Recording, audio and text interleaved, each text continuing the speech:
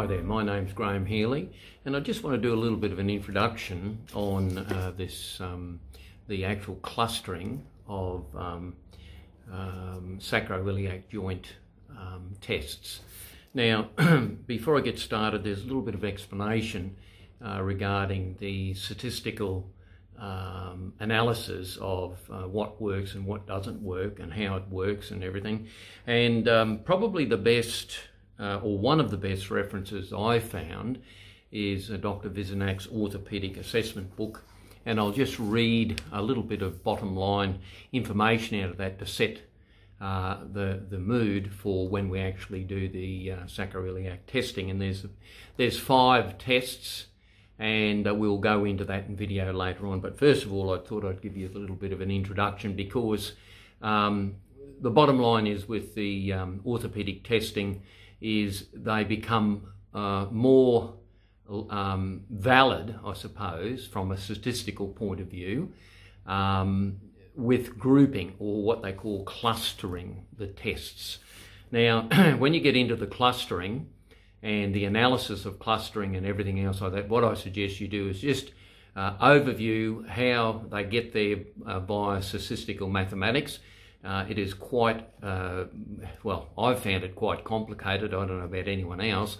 Um, but we don't have to be a, a, a work out the statistics ourselves. We just accept the uh, um, the particular tests that have been done and the analysis that have been done and published on, say, PubMed or uh, such studies that we accept as uh, uh, evidence that these particular tests are have a certain validity.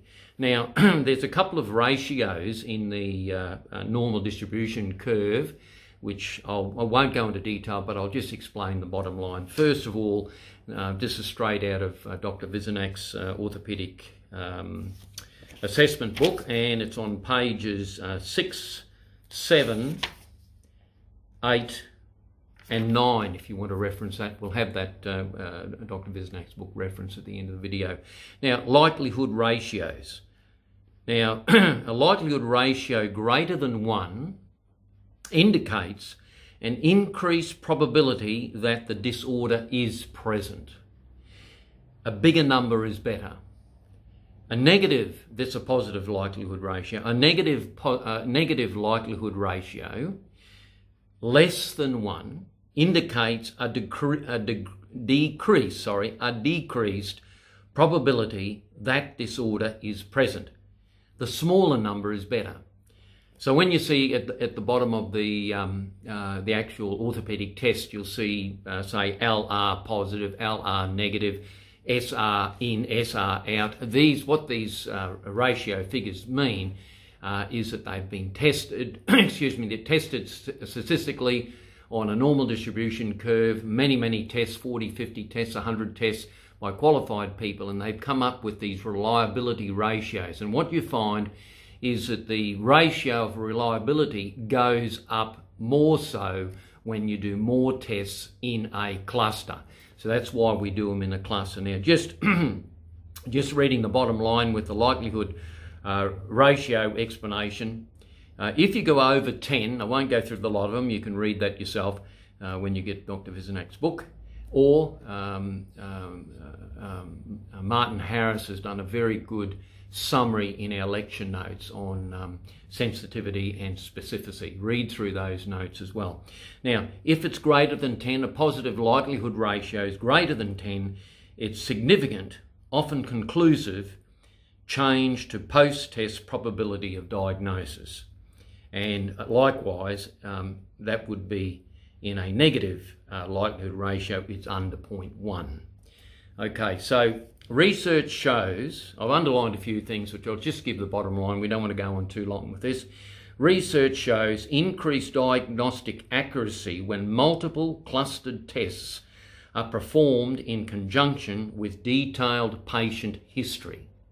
I'll just repeat that. Research shows increased diagnostic accuracy, and that's what we're trying to do is diagnose when multiple clustered tests are performed in conjunction with detailed patient history.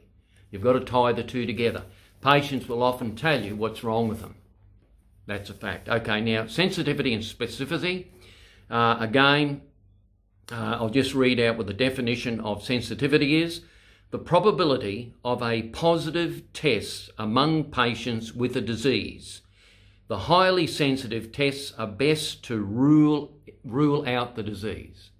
So, in other words, in general, as tests become more sensitive, it becomes less specific and vice versa. So I'll just go through the sensitivity again. The sensitivity, the sensitivity of a test is how you rule out the disease. All right. Now the specificity is how you rule in the disease. So the definition of specificity is a probability of a negative test among patients without the disease.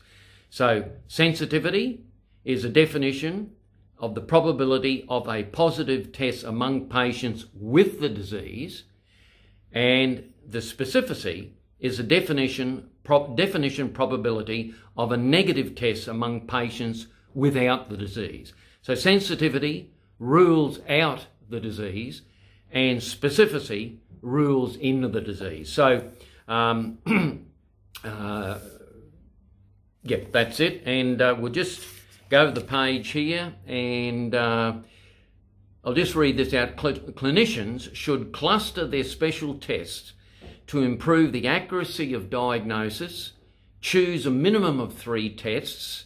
Of that, you can perform and interpret well for a given condition. And as an example, uh, on page uh, nine, we've got uh, cervical radiculopathy, and uh, Dr. Vizniak here does four tests a positive upper limb, cervical rotation test, uh, positive distraction test, positive cervical compression test, and then you'll see that the sensitivity and specificity, the more tests you go, the greater these figures are, and positive likelihood ratios are all written down there accordingly. So finally, I'll just finish with this. Um, uh, the, clinic, what, what we call entitled the uh, clinical prediction rules, Clinical prediction rules are designed to improve clinical decision making and assist practitioners in diagnosis, prognosis, and treatment planning. Uh, CPRs provide practitioners with a powerful diagnostic information from the history and physical examination that may serve as accurate decision, decision making surrogate for a more expensive diagnostic test. In many cases, a good history this is very important. In many cases, a good history and exam are more diagnostic than an MRI. That's interesting. You, get these tests right, and you'll minimise uh, radiation exposure to clients just having to get an x ray all the time. That doesn't necessarily give you an accurate diagnosis in many cases. Combine multiple diagnostic, diagnostic tests with clinical understanding of disease processes to improve accuracy and uh, treatment effectiveness. Um, okay, that's it. So we'll, the next stage of this video, uh, we'll go through and do the, the um, uh, sacroiliac uh, clustered testing uh, by uh, Mark Laslett and et al. And we'll have a okay, chat to you further from there. This is um, my patient, was my son Alan, and we're going to go through the series of um, SI joint tests. Um, and first one is sacral springing. So we put our hand on the apex of the sacrum, apply pressure and spring.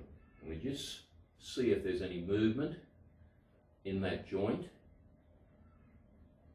And the sacral joint, there's a very small amount of movement. It only moves about one or two degrees at most and the object of the exercise is to reproduce the pain. Now, Alan, just like to go on your side, please, facing that way. Thank you. Now, just bring that knee up a little bit. Now, I'm going to compress the hip, and in doing that, we compress, one, compress, and compress, compress a couple of times and what we're trying to do is find or reproduce the pain or find movement in the SI and hip joint. Okay. I'm just lying on your back please.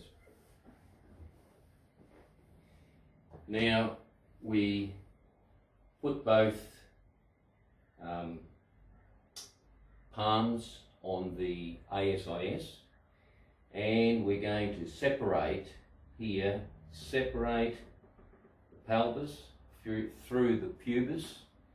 Again, that will cause a little bit of movement in the SI joint. Right, doing that. Okay. Right now, we'll do the Gainston's or Gaenslen's test where we bring up, it looks like a Thomas test, where we bring up the knee and with Alan's other leg we gently lean it over the side. Now just relax Alan. Now I'm going to apply pressure here and extend and try and reproduce the pain. Uh, of course if there's SI joint pain there could be hip involved here as well and the iliopsoas will be stretched or um, if it's a uh, in uh, contraction we'll have uh, some issues as well but the main thing we're looking at is SI joint reproduction of pain. Alright Al just put that one down. Okay now we'll lift this knee up and straighten this leg. Thank you. Lift this knee up. Now what I'm going to do is the uh, femur compression test here. Put the palm underneath the gluteal muscle and I press the femur down through the hip joint. So we're just pressing down again, trying to reproduce any pain either in the hip or SI joint. There we go. Okay, thanks Alan. Now this I will go into greater detail on the tape where I'll go into the um, likelihood ratios and the sensitivity and specificity ratios and we will put that on the screen as well. Okay, thanks for watching. Thanks Alan.